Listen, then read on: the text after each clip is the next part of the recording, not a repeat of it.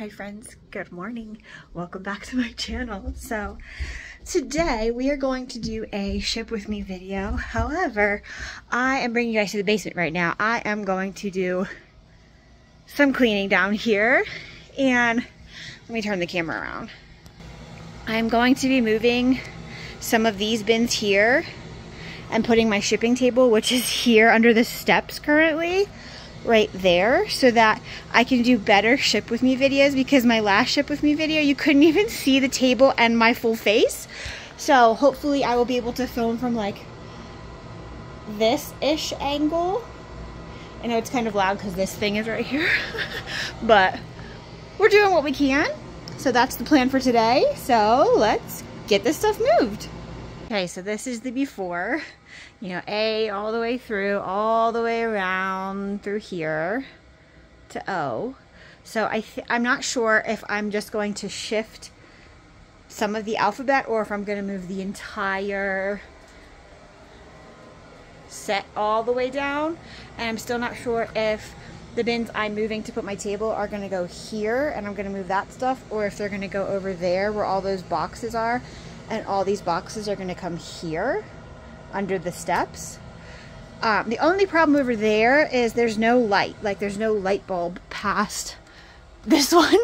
So it's like dark over here, dark and scary corner over here. So I cannot like really put things too far into there, but I obviously can put them right here where you can still see. So that is my two choices and we are gonna get moving.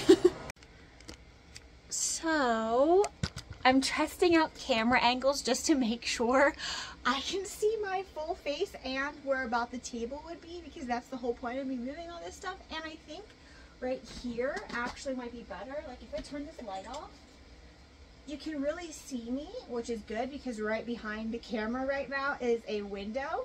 So I get lots of natural light coming in. So I could just film my videos like this and turn this light off and maybe even like scoot the light down, you know, so it wouldn't be in the.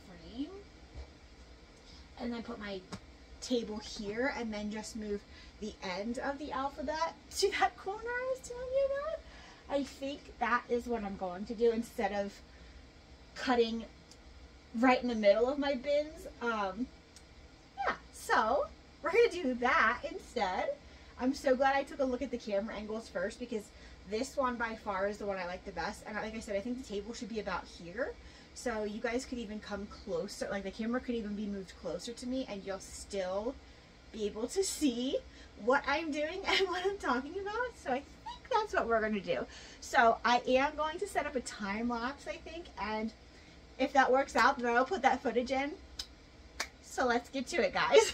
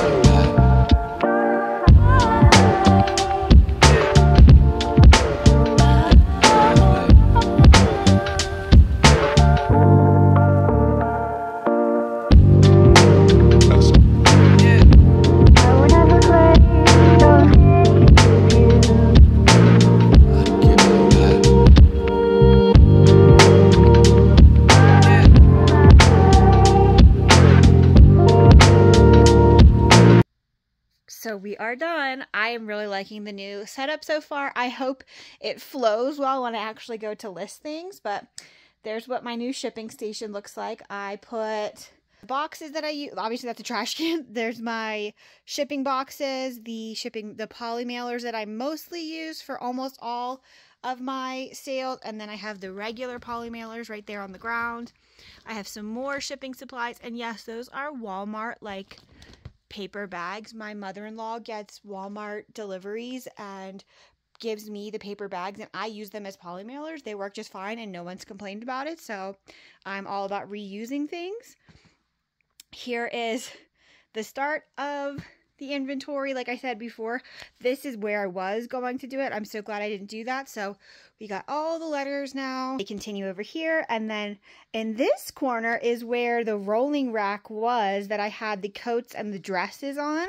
So those are the bins that came from the corner where my shipping table is now. They unfortunately all didn't fit right here. So I did have to put two, just the O's right here on this little corner. But under the stairs now are the shoes, which are here, handbags, which are here, and then just random shipping boxes. And then where the boxes used to be is now the rolling rack, the quilts, and this is just dust bags. That's some random hard goods that I have listed. Actually, this sold, so let's go ahead and get that out. Which one? This one. The sign sold, so we're going to have to pack that up today. So let's pack some sales. Okay, so we're going to pack the sales now. I have my labels. I'm just going to grab a Hulken and I'm going to leave you guys there while I go pull everything and then we will come back and chat about the things that sold as they pack.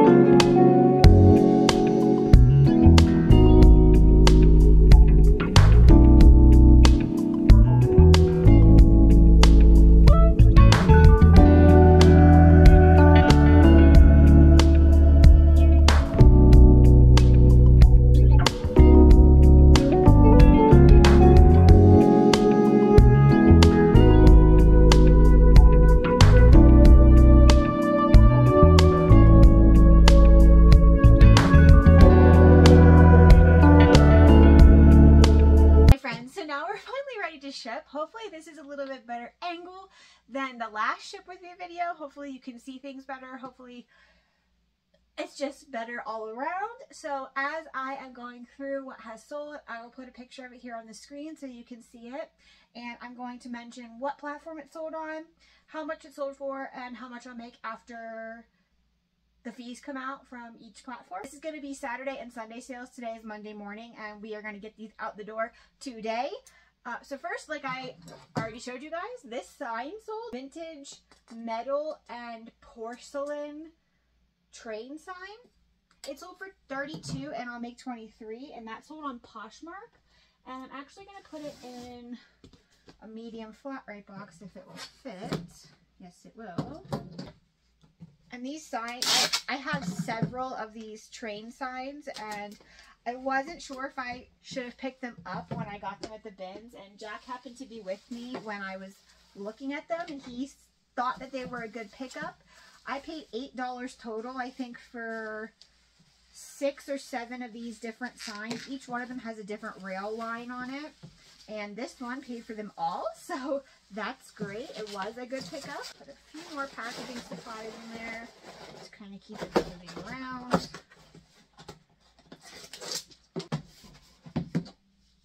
And if I didn't already say, this sold for 32 and I'll make 23. And I'm not throwing them on the floor. My Hulken bag is right there, so I'm putting them in the Hulken. Next is this set of J. Valentine. This is a vintage, like, cosplay furries set, I guess. It is a hat with the matching either gloves or leg warmers, I guess whatever one you want them to be. This sold on eBay. It sold for $50 and I will make 46 And this is going to go in, oh gosh.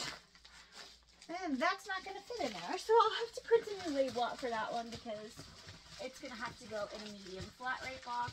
And I only have a label for a padded flat rate. So I will have to fix that.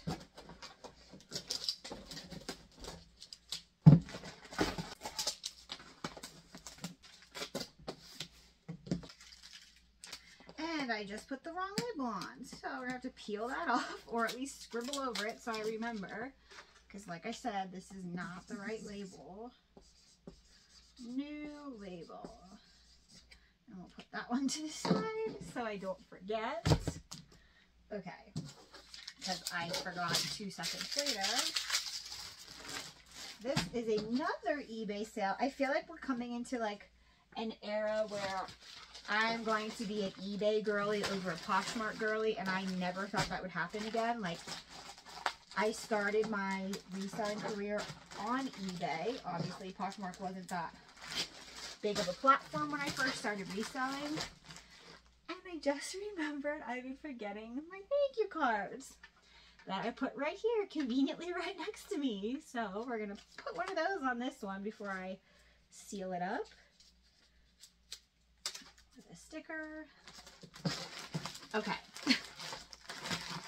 so like I was saying, um, I started my reselling career on eBay and Poshmark wasn't that big of a platform. I had, you know, the usual problems that you have on eBay and it made me so angry. And then eventually eBay took away their customer service phone number so you couldn't even call and talk to somebody on eBay if you had a problem.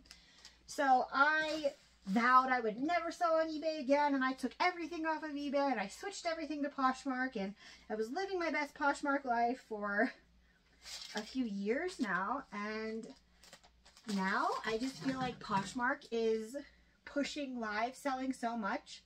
It's so hard to make a sale on Poshmark. Like I will list things and they won't get any attention at all and I'll list it on eBay and they'll have watchers within a few hours within the same day. So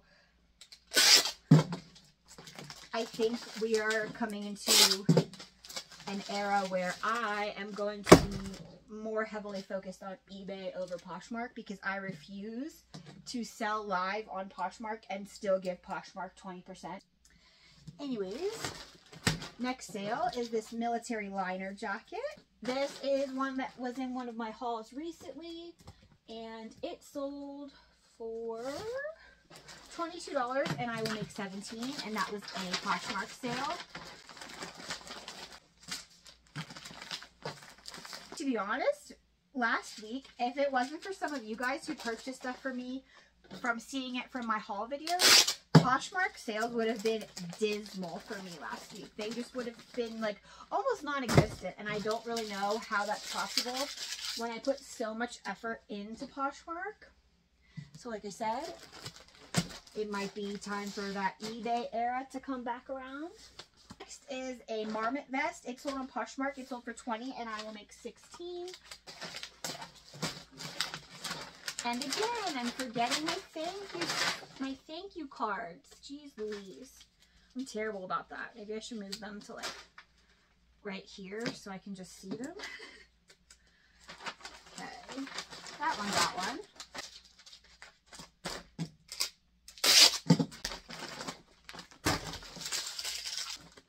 Next sale is a pair of Reformation jeans. Reformation, especially their jeans, was something I used to be extremely excited to find.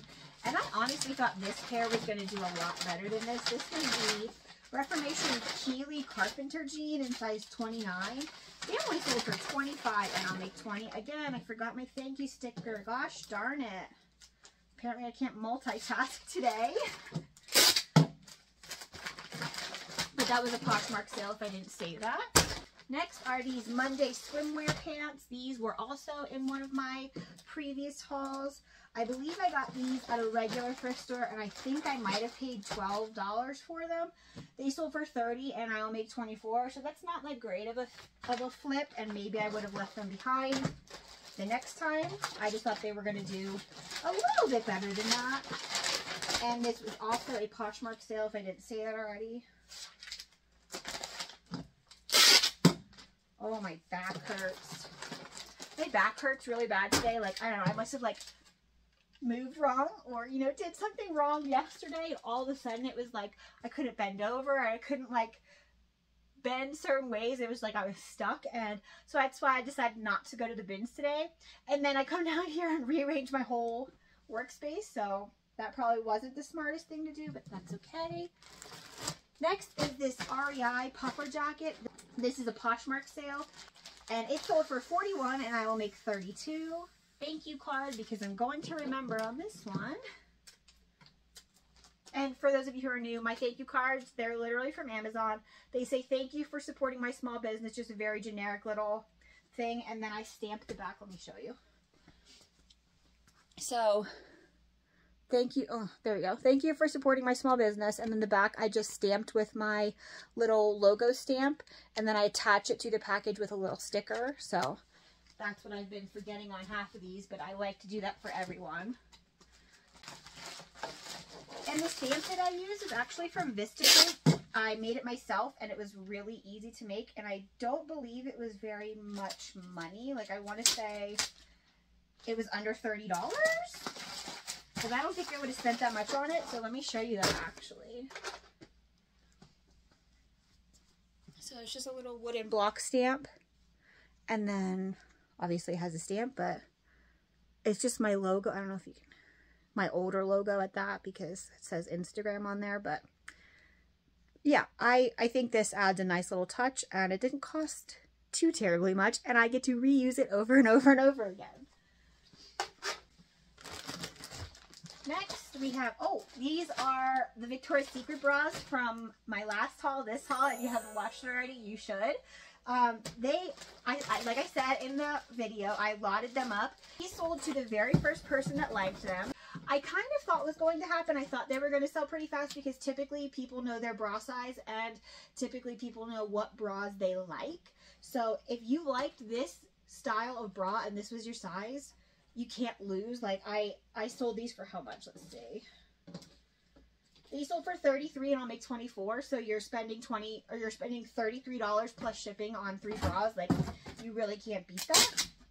Also, they, this person bought this item five minutes after they liked it because Prime Lister sent them an offer for me of 30% off with discounted shipping. And like I said, they accepted it. So love that. If you never checked out Prime Lister or don't know what I'm talking about, um, the first link in the description down below will be a link for Prime Lister. And that link will give you two weeks free and you don't need to put your credit card in. So you can give it a try and figure out if you like it before committing to buy it. Okay. Oh, JanSport. This is a vintage JanSport Air Force Academy crew neck sweatshirt. It sold, I believe, on Poshmark. Yes, it sold on Poshmark for $27 and I will make 19 I changed up some of the automations I had Prime Lister doing for me. I think prior to me changing it this weekend, Prime Lister was sending out offers of 20% with discounted shipping 10 minutes after an offer or 10 minutes after someone had liked it and I changed it to 30% with discounted shipping 5 minutes after someone likes an item. Also, I had Prime Lister relisting things that were 80 days old or older I changed that to 140 days, giving my items a little bit longer listed on the platform. So we'll see how that does. See at the end of this month if that, if I think that has made any significant changes.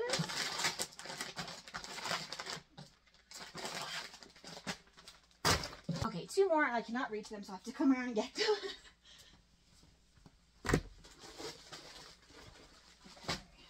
Oh, and I forgot a thank you sticker in that, or I forgot my thank Okay, we're just going to pop the thank you card on both of these because I forgot them in the last one. So, thank you card on that one. Maybe I should do that first from now on. Okay. So, first, First, we have these Athleta pants. They are a vintage pair of Athleta pants. They're a very old label, but they're like a thicker material. Uh, they sold for 21 and I will make 13. And last, we sold this vintage Abercrombie t-shirt. This was also a Poshmark sale. It sold for $9 and I'll make 7 While that is a very low sale price, I've had this t-shirt forever and I got it at the bin, so I am very happy to see it go. So that's it for this video, you guys. I really appreciate you guys sticking around and watching with me. If this angle was a little bit better, please let me know. Maybe I should bring the camera a little closer next time. I just wanted the whole table to be like in the frame. So let me know your thoughts on that. Should I bring it closer? Maybe angle it like down, you know, so you really don't see me, but you see the table. I don't know. What, what do you guys care about when you watch shipping videos? Like, are you really focused on how I'm packing the things? Are you just kind of, you know, watching to see what things are selling currently? I don't, I don't know. Why do you guys watch Ship With Me videos? What is the important part of a Ship With Me video to you? Hi friends, so we are just leaving the post office and I did have a chance to briefly just look at a few of the, the clips that I had made for this video and the very last clip where I'm actually at the shipping station, the clip you just saw where I'm packing things, I think next time I will maybe put my umbrella light downstairs so that there's more light because it still was a little bit dark. It was bright-ish, but like not as bright as I would like it to be. So I will try to fix the lighting a little bit next time. And I think maybe I will bring the camera a tiny bit closer to me next time as well. Um, like I said, we are working it out. We are figuring it out, trying to figure out a new shipping station that's better for filming, but also still works for me. um, so if you took the time to watch this video, I so appreciate it. And if you wouldn't mind just hitting like on the way out, that would be awesome. See you next time, friends. Bye.